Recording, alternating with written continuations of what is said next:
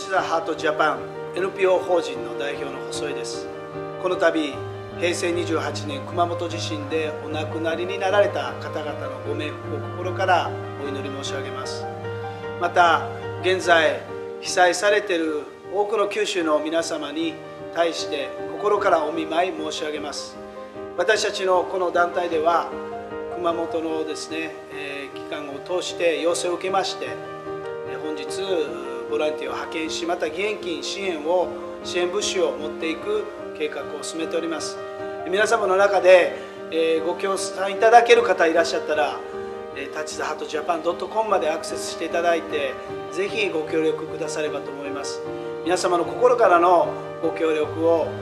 お願いするとともに今被災されている方々の平安を心からお祈りしご支援していきたいです。祈っております。